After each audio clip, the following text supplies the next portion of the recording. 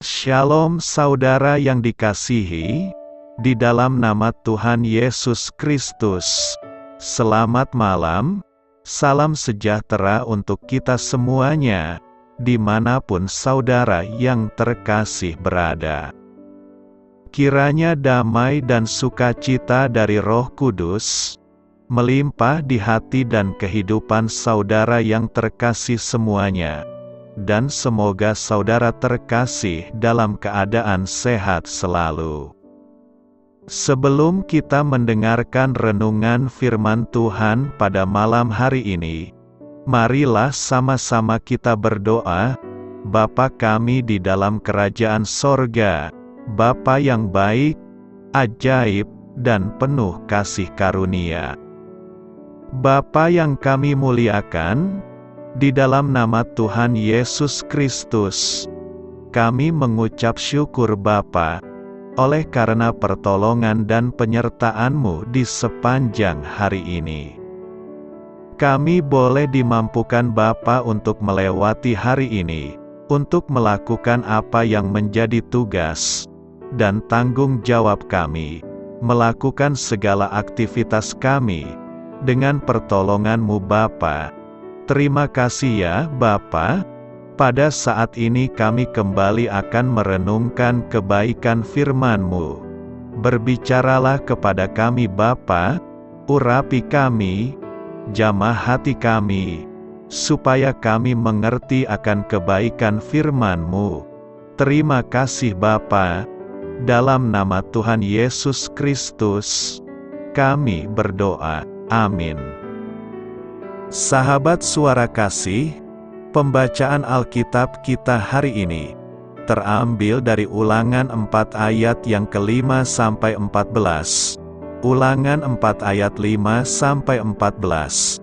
Ingatlah, aku telah mengajarkan ketetapan dan peraturan kepadamu, seperti yang diperintahkan kepadaku oleh Tuhan Allahku, supaya kamu melakukan yang demikian di dalam negeri, yang akan kamu masuki untuk mendudukinya.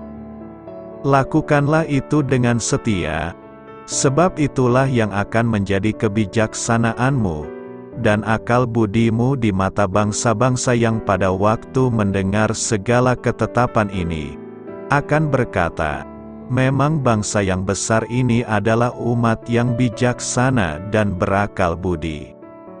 Sebab bangsa besar manakah yang mempunyai Allah yang demikian dekat kepadanya, seperti Tuhan Allah kita, setiap kali kita memanggil kepadanya, dan bangsa besar manakah yang mempunyai ketetapan, dan peraturan demikian adil seperti seluruh hukum ini, yang kubentangkan kepadamu pada hari ini. Tetapi waspadalah dan berhati-hatilah, supaya jangan engkau melupakan hal-hal yang dilihat oleh matamu sendiri itu, dan supaya jangan semuanya itu hilang dari ingatanmu seumur hidupmu. Beritahukanlah kepada anak-anakmu dan kepada cucu cicitmu semuanya itu.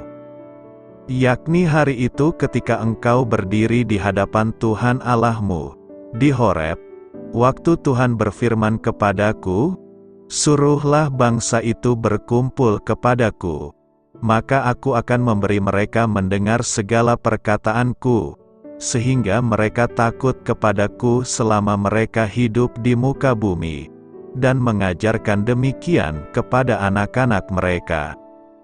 Lalu kamu mendekat dan berdiri di kaki gunung itu, sedang gunung itu menyala sampai ke pusar langit dalam gelap gulita, awan dan kegelapan.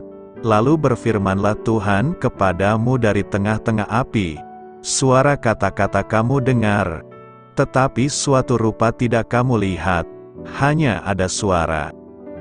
Dan ia memberitahukan kepadamu perjanjian, yang diperintahkannya kepadamu untuk dilakukan, yakni ke sepuluh firman, dan ia menuliskannya pada dua loh batu. Dan pada waktu itu aku diperintahkan Tuhan, untuk mengajarkan kepadamu ketetapan dan peraturan, supaya kamu melakukannya di negeri, ke mana kamu pergi untuk mendudukinya.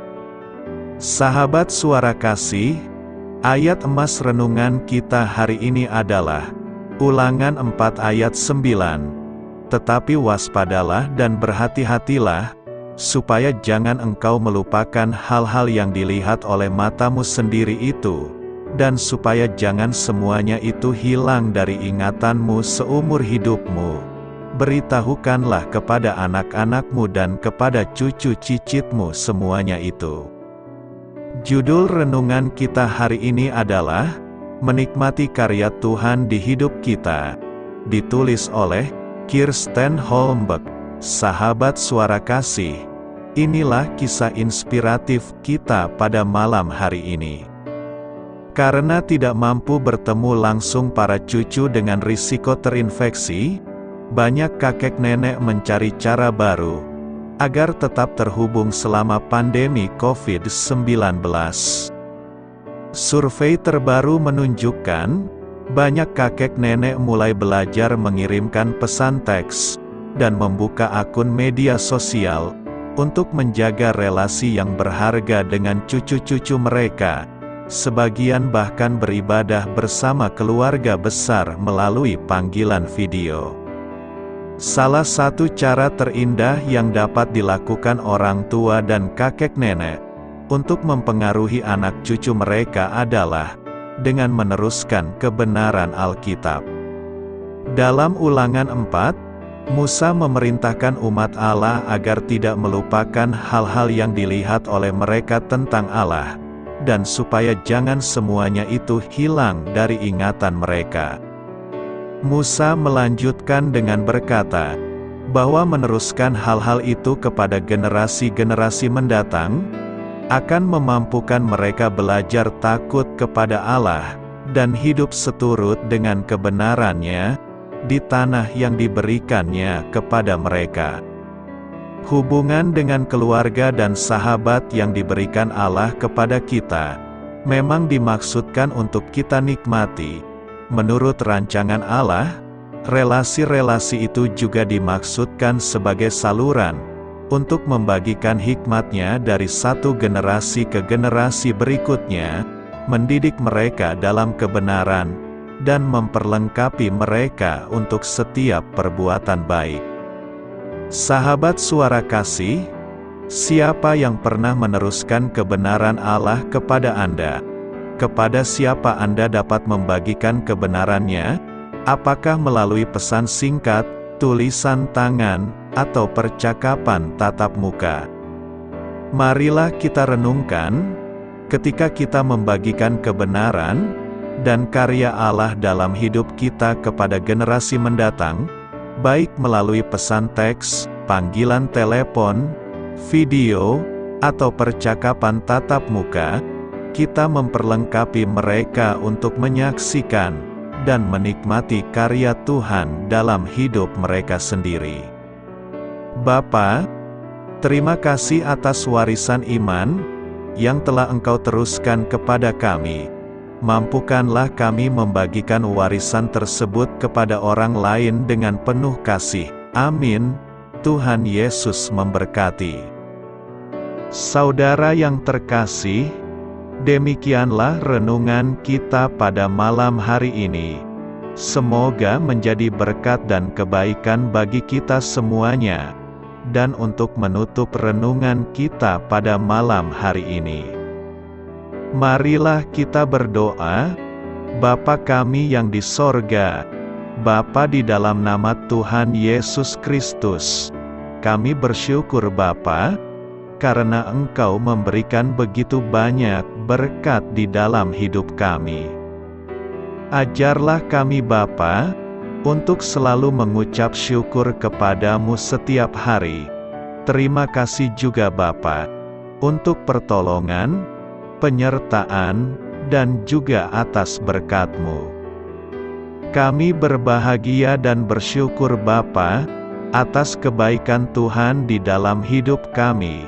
Terima kasih untuk penyertaan-Mu Bapa, di sepanjang hari yang telah kami lewati. Hingga pada malam hari ini, kami boleh bersyukur lagi di hadapan-Mu Bapa, melalui doa dan renungan malam hari ini, terima kasih untuk firman-Mu pada hari ini Tuhan. Kami mau belajar dan terus belajar tentang firman-Mu. Firman-Mu yang menguatkan dan meneguhkan iman percaya kami. Firman-Mu yang mengubahkan kehidupan kami. Kami mau melakukan firman-Mu Bapa, di sepanjang kehidupan kami, agar kami menjadi kuat, berjalan bersama dengan Engkau. Terima kasih Bapa untuk nafas kehidupan yang masih Engkau berikan. Kami mau pakai kehidupan kami untuk hormat dan kemuliaan namamu. Kiranya Engkau selalu memberkati hidup kami, keluarga kami, sanak saudara kami, daerah tempat tinggal kami, bangsa dan negara kami, pemerintah-pemerintah kami. Biarlah semuanya dalam perlindunganmu Bapa, dan jadilah sesuai kehendakmu yang terbaik, di dalam hidup kami. Bapa, hamba berdoa untuk saudara-saudara kami, yang sudah mendengarkan renungan pada malam hari ini. Biarlah yang saat ini sedang mengalami sakit penyakit, pergumulan masalah, kebutuhan ekonomi, kiranya engkau jamah, sembuhkan dan pulihkan kehidupan mereka.